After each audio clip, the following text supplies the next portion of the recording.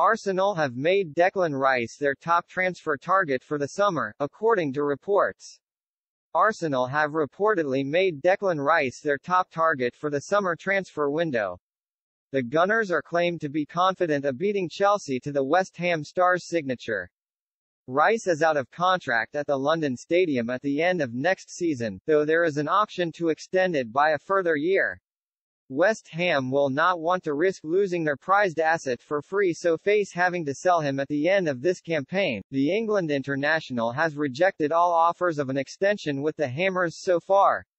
Chelsea and Manchester United have long been linked with Rice. He spent time in the Chelsea academy until he was released at the age of 14.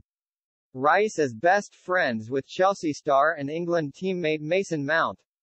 However, the Times claims Arsenal are growing in confidence of beating the Blues to Rice. There will be a bidding war for the 24-year-old in the summer due to his contract. United could also be involved in the running, but Arsenal are set to prioritize Rice as their top target. The report claims Rice would cost around £80 million, lower than West Ham would demand if he had a longer contract with the club.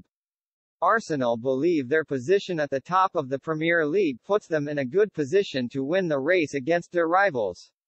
Arsenal's 2-0 win in the North London Derby at Tottenham on Sunday increased their lead over second-placed Manchester City to 8 points. The Gunners still have 20 games remaining to play and have to face City home and away.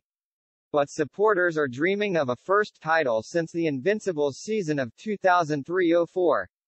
Rice would fit in perfectly with the profile of player Arteta has targeted in recent windows.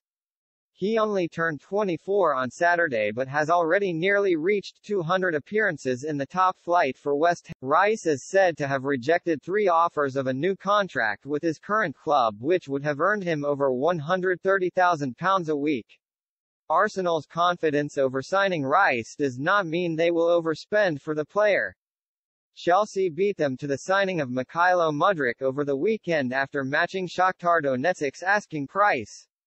Chelsea have the financial power to beat the Gunners to Rice. But Arsenal will do as much as they feel necessary to get a deal done.